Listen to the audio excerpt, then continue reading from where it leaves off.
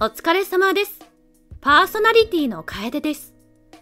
今回は原爆投下の歴史的背景と原爆が投下された広島の男子高校生の言葉をご紹介します。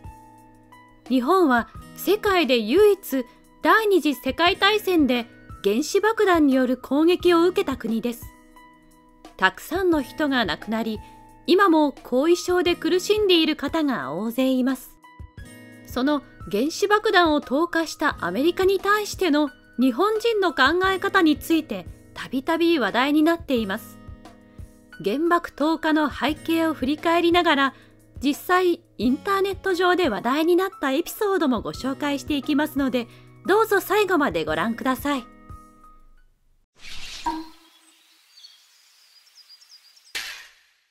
1日本への原爆投下とその後日本への原子爆弾投下は1945年8月6日に広島8月9日に長崎で行われましたが実はその年の春頃からアメリカはこの計画を進めていたとされています。当時戦争が長期化しアメリカも戦力や人員ともに不足し疲弊していたためどのような手を使ってでも日本に降伏させたいという思いがありました。またアメリカでは多額の税金を戦争の費用に充てており大金をかけて製造した原子爆弾を使用して戦争に勝利することで国民の理解を得ようという考えもあったのです。さらに全世界にアメリカの力を見せつけ地位を築くことも目的だったと言われています。春頃から綿密に計画が進められ原子爆弾の目標都市もいくつかの候補がありました。その中からまず広島が選ばれてしまったのは原子爆弾投下で伴う爆風により効果的にダメージを与えられる環境条件やアメリカをはじめとした連合国軍の捕虜収容所がないことが大きな理由です。そして広島に原子爆弾が投下され日本は甚大な被害を受けます。そしてその3日後長崎に原子爆弾が投下された影響を受けて日本は降伏。第二次世界大戦は終戦しました。これはアメリカの狙い通り日本だけでなく全世界を震撼させアメリカの力にはかなわないと感じさせたことでしょう。そのため海外では終戦から現在までのアメリカへの日本の姿勢について疑問を感じている人が多いそうです。それはアメリカに原子爆弾を落とされて大きな被害を受けたのになぜ日本人はアメリカを憎んでいないのかというもの。海外であれば歴史の中で植民地にされたり戦争により大きな被害を与えられた国に対して攻撃的な姿勢を持っている国は少なくありません。反日運動が盛んな韓国や中国が分かりやすい例ですね。被害を受けた当時から数十年が経過し当時から生きている方の数は減っているにもかかわらず変わらずに反日感情を抱き続けているのは相手への憎しみは忘れてはいけない。代々受け継がせていく必要がある。と考えられているためです。両親がそう教えるのはもちろん国を挙げて教育に盛り込むなど徹底的に反日感情を持つように取り組まれています。一方で日本でアメリカへの憎しみを忘れてはならないと教えられることはあるでしょうか。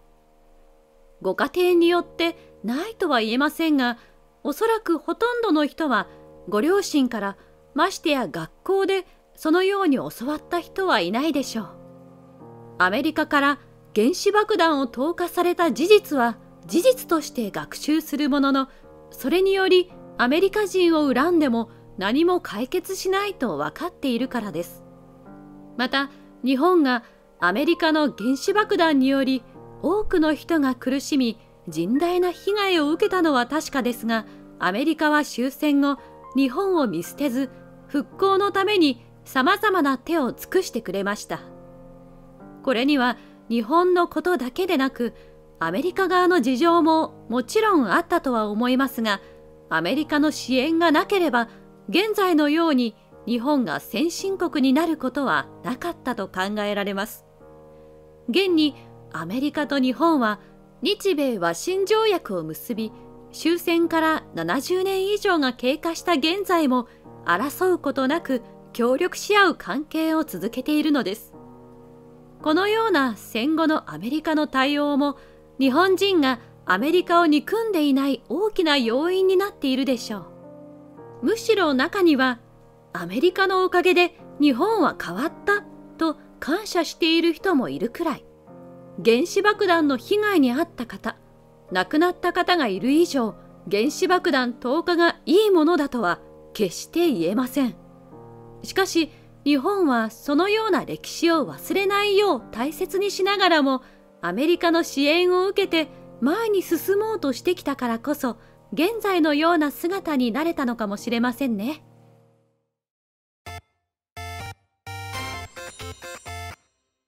2外国人を感動させた日本人高校生の言葉広島の原爆投下で被爆した産業奨励館は戦後原爆ドームと呼ばれるようになり日本人だけでなくたくさんの外国人が訪れるようになりました原爆ドームやその周囲にある平和記念公園に訪れた外国人の通訳ボランティアをしている男子高校生がインターネット上に投稿した内容がたくさんの人から反響を呼んでいたので、その内容をご紹介します。男子高校生は通訳の仕事中、外国人から聞かれることがあるそうです。それは、日本人はアメリカを嫌っていますか？というもの。その言葉には、原子爆弾で攻撃してきたアメリカを恨んでいないのか？というストレートなものからそうでないものまでいろいろな意味が込められていると男子高校生は解釈しています。そして必ず男子高校生はこう答えるのだそうです。僕たちはアメリカではなく戦争を嫌っています。と。現代を生きる日本人の気持ちをこれ以上にしっかりと伝えられる言葉はないのではないでしょうか。過去に大きな被害を受けたからといってその相手を恨み続けても何も生まれませんむしろその恨みや憎しみが新たな戦争につながりさらなる被害を生み出す可能性もありますそれならば過去に受けた傷は決して忘れず教訓として生かし二度と同じような被害を生み出さないよう前を向いて進むことこそが日本人の目指す世界の姿なのです。男子高校生というまだ若い年齢で日本人の思いを代弁してくれた彼はとても素晴らしいですね。この男子高校生の言葉に対しインターネット上で外国人からたくさんのコメントが寄せられていましたのでいくつかご紹介します。日本の若者が素晴らしい考えを示してくれた。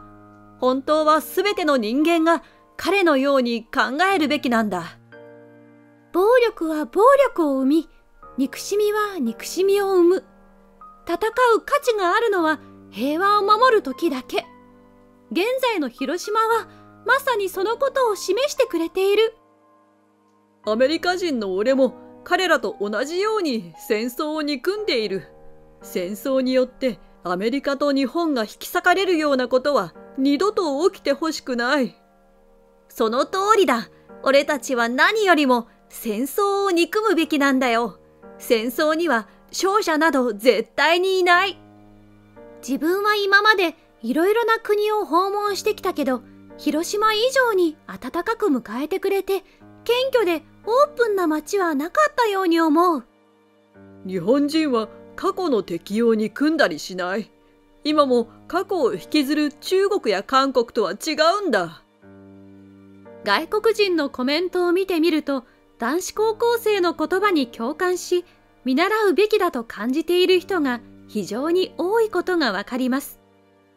いかがでしたか？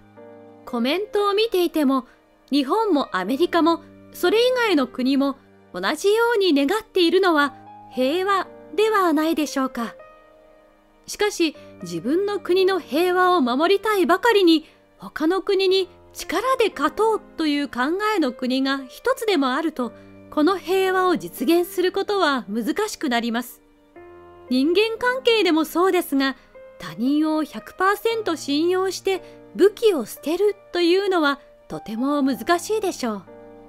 う。しかしいつかそのような世界が実現することをこの男子高校生は信じているのです。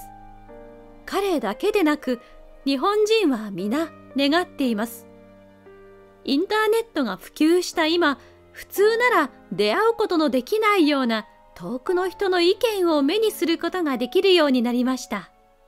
現在は残念ながらそれによる誹謗中傷で傷つく人が目立ちますが、あらゆる国の人々が平和を願い、それを形にする手段となったらいいですね。